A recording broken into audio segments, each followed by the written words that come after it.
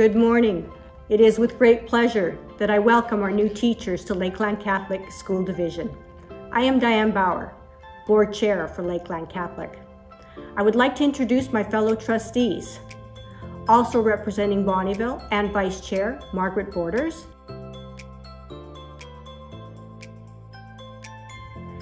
and Vince McDonald. From Cold Lake, I'd like to introduce Marianne Penner,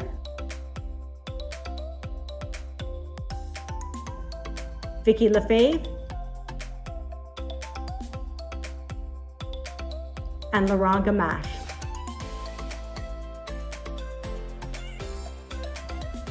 You are entering a year that comes with some challenges for, all, for all of us.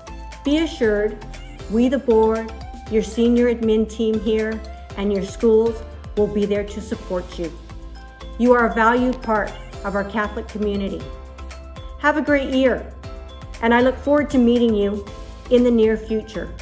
God bless.